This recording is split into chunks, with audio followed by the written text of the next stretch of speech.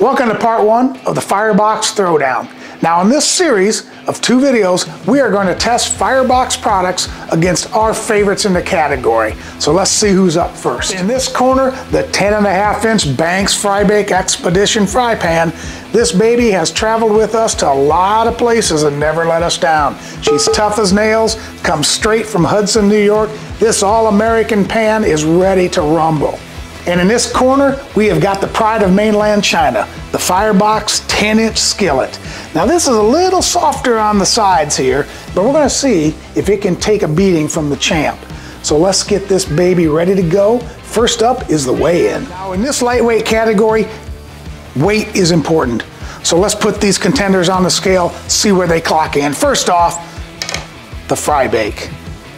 Coming in at one pound, two ounces and five eighths. This is no featherweight, but it's still a lightweight. Next up, Firebox jumps on the scales. Oh, and 15 ounces takes the cake. You can tell these two are gonna go head to head. The boss, no, you're the boss. I'll cook better than you. No, I'll cook better than you. Now the fry bake, when it shows up to your door, all you need to do is give it a scrub in soap and water and it's ready to jump in the ring. Now it might show up like this or it might come with its fancy lid. That lid is designed to allow you to bake and put coals on top and not fall off. In fact, you can even burn a fire on top of that. That's all up to you whether you want that lid or not. Firebox shows up a little bit differently. It comes requiring a little bit more maintenance. You still have to scrub this pan, but it's got some kind of coating on it from the factory. So the first thing you need to do before this thing gets in the ring, you need to toss it into a 500 degree oven and you need to clean that coating off. Since we've never used this pan before, we're gonna go ahead and start that process by plunging this thing into some soapy water. We're just gonna give it a nice scrub. We're not gonna use anything abrasive, but anodized aluminum is supposed to be 30% stronger than any sort of stainless steel, so I think you should be able to. But we're not going to. We're just gonna go ahead and give this a scrubbing, rinse it off, and get the oven heated up. Welcome back to this exciting first round of the throwdown. Now I will say that Firebox did file a petition. They say that you must season their pan three times in a hot oven before use. I passed that on to the judges. Judges said that for this first round, it's an anodized pan. We're gonna let it go naked because no other anodized pan has ever asked us to do that. All right, welcome to the first challenge of the throwdown. In this challenge, we're using the Firebox Gen 2 folding stove and the Trangia gas burner. We want a small burner because we want to pinpoint heat on these stoves to see how hot the center gets and how they distribute heat. We also want to see how hot they get because thickness of aluminum does make a difference. So first up, we're going to put the Firebox 10 inch on this stove and we're going to leave it for three minutes, checking the temperature every one minute to see how hot it gets and how it distributes heat. Time to test the young upstart. Center of the pan, we're registering 251 degrees. As we move around to the edges, we drop to 152, 141, 160, and 224. Three minute mark, and let's see how this thing clears out. We are at 358 degrees. As we move around the pan, we've got 280, 282, 260, and 303. So a pretty good showing for the pan. We've not touched the stove, so we've got absolutely the same heat level. On goes the champion. One thing to remember, the Banks Fry Bake has a much larger cooking area, so we will be trying to distribute that heat over a larger area. All right, at the end of one minute, the fry bake comes in at 237 degrees. On the edges, 165, 132, 150, and 178. The final readings for the champ, center of the stove is now at 280, 290 degrees. Around the edges we go, 223, 191, 203, and 245. So that's the end of our first test. Let's tabulate the scores and see how we came out. It is time for the second challenge. The results of the first challenge are in. Now both of these pans did a pretty decent job of distributing the heat around the edges. The firebox did a little bit better, but don't forget that it had less space to have to cover. So at 72% ratio between the coldest and the hottest on the firebox and 65% on the fry bake, I'm calling that even. Uh, what I will say though is the temperature difference in the center of those pans. The firebox was at 358 and the fry bake at 290 shows me that either the fry bake is a thicker aluminum or it's a denser aluminum because it didn't heat up as quickly. Now you may find a slower heat to be a disadvantage or an advantage. I think maybe we'll see where that difference comes in later, but right now we have a tie. The next test involves a propane camp stove and some sacrificial sweet potatoes. Now these babies were beyond their prime, so they won't mind us throwing them into a hot skillet. What we're looking for here is the ability to fry a potato as well as non-stickiness. So if we can fry these potatoes and get minimal sticking, that's a win for me. So let's see how they come out. One final swirl of the oil, and the fry bake is up first. In go the sweet potatoes. Let's just see how it goes.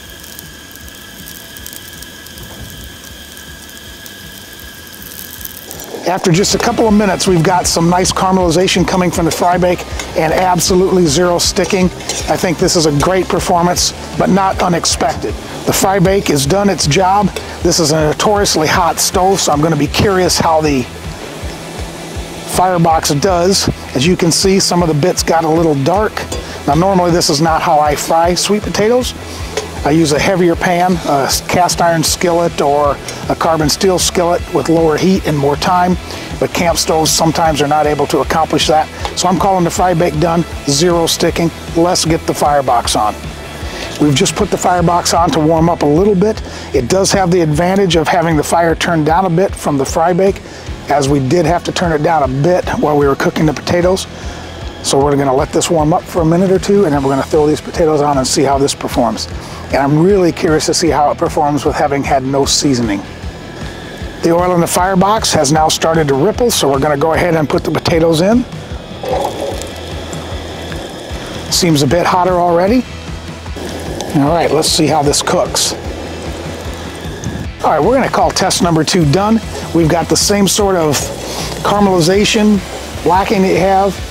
The Potatoes are sliding around in the skillet pretty well, not quite as well as they did in the fry bake, and we seem to have more oil left in this pan, but the uh, potatoes are sliding around and uh, they got the same caramelization, so I'm gonna call this one pretty close to a tie as well. So after the end of two rounds, these two competitors are putting up a great fight. I think we're starting to get a little bit of an opinion of the two, but before we get going on to the third round, let me talk about what we learned a bit after the end of the second round. First off, the Banks fry bake. If you noticed when we put oil in it for the potato cook, the oil moved to the edges of the pan. And the reason that did that is because it had developed a bit of convexity in the middle of the pan, which means it warped a little bit. So we did contact their corner and asked them what was going on. They pointed us to their website. The website said in their frequently asked questions that this can happen with heat, and the solution is to put it on the ground and step on it to flatten it back out. This baby can take a beating. So we did that. However, on the firebox, we had just exactly the opposite situation happen. Instead of a convexity, this pan is developing a concavity into the middle of the pan. And what that means is that things are going to start flowing to the center. So let me show you what this does. So to show you the impact of this, if you look at the Banks fry bake after we stepped on it, the concavity is gone to a bit and it doesn't spin at all. There's no movement to it. Conversely, the firebox when we give it a little spin, it spins and it spins. It is like a top.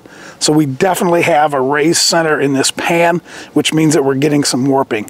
When we first got the pan, it did this slightly. It's gotten worse after the first two rounds. The other thing that you may notice is in this test and all subsequent tests, this pan remains unseasoned. The judges have decided that given the performance of this pan in the first two rounds, that we are going to continue to use this as an anodized pan without seasoning. At the end, the judges will tell you why they made that decision, but for the moment, this remains unseasoned. So let's get to the cooking test. For round three, it is the sear test. For this test, we're gonna use the iCamper Disco. We've got two third pound hamburger patties that we're gonna sear in the pans. So the methodology here is we're gonna put one pan on, we're gonna heat it up to 350, slap the burger on, let that go for three minutes, flip it, and see how it did in the searing.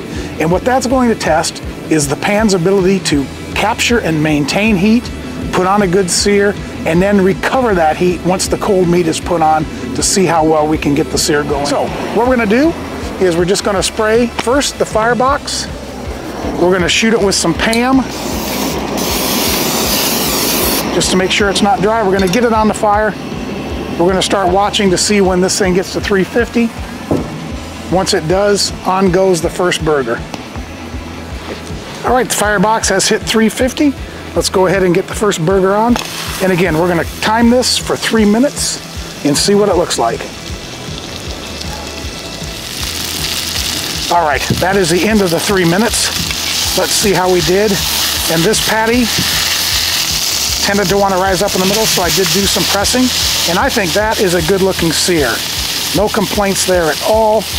As I said, the middle was rising up, so I pressed it down a bit, but around the edges, we got a nice sear. So we're gonna go ahead and finish this burger, then we're gonna start the next. First burger is done.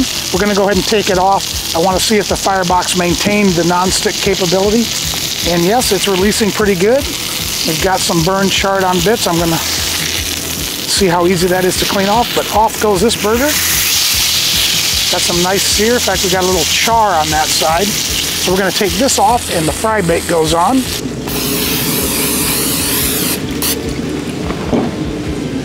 Bringing this up to 350 and then on goes the burger. Fry bake has hit 350, so we're going to do the same thing. On goes the burger. As before, did take a little more time to come up to 350, being I think a slightly thicker aluminum. It did take a bit more time, as well as having a much bigger cooking surface, so the fire, uh, the heat does disperse more around the edges. All right, three minutes is up. Let's see what the fry bake did. Super easy release. Very nice browning. I think very similar, maybe slightly better, but I don't think materially. So let's finish cooking this burger and see how the pan looks when it's done. And the fry bake burger is done as well. Let's see how this flips. No sticking at all. Little uh, charring and browning, very similar, maybe not as much as we got from the firebox, which I chalk up to a heavier pan. So the fire is not getting as hot in the center. The crumbs are scraping up nicely. So let's let this rest and I'll show you the residue that we got in both pans. All right, let's take a look at the burgers side by side. And this is the second side where they finished cooking. On this side, we have the firebox, and on this side, the fry bake. And again, the fry bake is not nearly as crispy. Uh, it's not nearly as charred. The fire didn't change. We had the exact same setting, the same amount of time, but it looks to me that the firebox is just getting hotter. It's a thinner aluminum. It's heating up faster. It's a smaller surface. So it's just charring the food a bit more. And let me show you how the pans look after the cook. So if you can come over here, There is residue in both of the pans. Now if we take the fry bake, which says go ahead and use metal utensils in this, most of it scrapes away relatively easily. And we have the same thing in the firebox. However, it looks like the firebox has got a coating of stuff that's going to need a bit more scrubbing. So again, I don't know if that's because this firebox is a bit more porous. If the anodizing is not as hard, it definitely looks like different type of anodizing, and there are multiple types. Some are harder than others. So let's get these cleaned up. We've got one more test, but at this point, it looks like the firebox did get a bit more staining, so we're gonna check that out as well. Okay, for this fourth and final round, these pans are going to face one of the most torturous tests any pan can face. That is a scrambled egg. We've got our disco on low, low heat. We don't want these pans to get too hot. We're going to start with the champ and we're going to use Pam cooking spray. We're going to spray the Pam, sorry, we're to spray the pan with Pam. We're to put it on the burner for one minute. Then we're to cook the egg. And we're to see if we get any sticking. First up, we have got one minute on the uh, Banks fry bake. So here we go. Egg goes in. As you can tell, our cooker is not exactly even. So let's just cook this egg and see what happens. So far, there's not a stick anywhere on this pan. Right, I think these scrambled eggs are done, particularly if you are one that likes it a bit on the soft side. And as you can see, we got no sticking at all in the fry bake. So let's take this off and get the firebox on the fire, see how it performs. All right, for the contender, let's give it some oil, get it on for one minute. I do think this pan being a bit thinner is going to heat up faster. We'll see if that makes a difference. A minute, in goes the egg.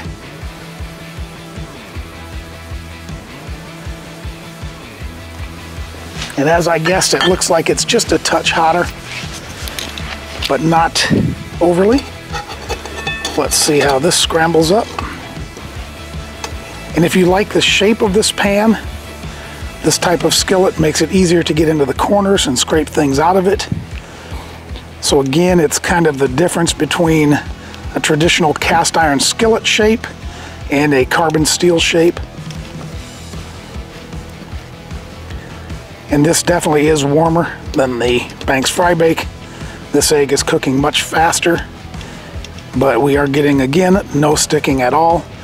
And a reminder, we have not seasoned this pan. Firebox recommends seasoning this pan before you cook in it. We have not done that. We have a method to our madness. All right, that egg is done and no sticking. So we have a decision from the judges. And I've got to tell you, this was extremely close. Both of these contenders cooked well, both of these contenders cleaned up well, and the firebox surprised me particularly because we did not season this pan. And I'm going to explain to you when I talk about the firebox why that decision was made. But first off, we do have a decision from the judges. And that decision is the Banks Fry Bake former champ and still the champ. It was very close, but the deciding factors for the fry bake were the slightly thicker aluminum, which allowed the heat to not penetrate the pan so quickly. It allowed you to control the heat better. I think it controlled warping better. And the shape of the pan, although we didn't bake in these pans, the shape of the pan makes this more multi-purpose because it allows you to do more traditional baking. Also, the capacity to get a bespoke lid for this pan that doesn't flop off when you shake it. Not that you're shaking it, but it, it stays solid and it's built with indentations around the edges so that you can build a fire on this and you can use this as a Dutch oven. Just makes this an all-around multi-purpose cooker for the backcountry. Now, the downside to the Champ, being a little thicker and being made in America, this pan, as it sits, rings the bell at $84. If you want to add the lid, that brings the price of the combo up to $113. And if you want the bespoke pot grippers, add another $18. So all in, we're talking about, what is that? That is $131. Now I like the pot grippers, but to be honest with you, I prefer a traditional pot gripper to the pliers. And the reason is when you're lifting the pan and pouring, these things can sometimes let the pan slip. But these are designed to be able to grab the pan at the right angle, to grab the lid at the right angle, and if you have a wire in here, you've got a hook to lift the lid off using the wire. So this is a complete system designed to cook. It has decades of experience under its belt. It's held up under extreme conditions in the National Outdoor Leadership School and just has all the credentials that one would need for a high quality, lifetime backcountry cooking skillet. Having said that, I was extremely surprised by this firebox skillet. When I first got it, I looked at it, and what this looks to me to be is the same pan coming from the same Asian factory that the GSI Pinnacle non-stick pans come from. It seems like it has the same design on the bottom and everything. So I wasn't sure how this would hold up, if it would be sticky because of the recommendation for seasoning. But this baby performed extremely well. Now it did have that warping issue and it did get worse after the last two tests with the hamburger and the eggs. It is a spinner. There's no doubt about that. Makes me wonder about the long-term viability of the pan. Makes me curious about how it would handle cooking over a campfire as opposed to a camp stove or a firebox stove. But all that being said, this thing performed extremely well. It didn't stick, it cleaned up well. On both pans, we used Barkeeper's Friend, which is what I take when we go camping with these. They both cleaned up really well. I saw no degradation at all in the anodizing of this pan. And the beauty of this, and this is where Firebox Stove has just knocked it out of the park with this pan. This pan coming with this long pot holder comes in at $33.95. That is an extremely good value for this quality of a pan. If you want to add a lid, it's not going to be a bespoke cooking lid like the Fry-Bake, but they do make a what they call the cowboy plate. And if you invert that plate and set it on top of here, it acts as a lid. Now it doesn't seal around the edge, it just sits on top and you can knock it off but it does work. I'm not sure how much heat you can put on it, if you can build a fire on it like you could with the fry bake, simply because the warping issue of the pan, I think, would probably be the same with the cowboy plate, but I don't know that for sure, so I'm not going to say that. So this pan definitely gets the value award. I don't see any places where they've chimped it, where they've done anything that says, oh yeah, here's where they they cut corners other than the thickness. It is a thinner pan. It does heat up faster. I think you do run the risk of scorching things quicker. Um, the pot grippers, they work well. You can tell just by looking at them the way things line up, the way they flex and move that they're adequate. They're not high quality. Maybe that's the wrong way to say it. They're not high precision. Um, they do have some some sort of, you can see where they cut corners. I guess that's the best way to put it. But they work. So let me get back to the seasoning issue. Firebox recommends that you season this skillet. And they recommend three seasonings at 500 degrees in your stove. When I reached out to Firebox, I asked them, why are you, why do you suggest that?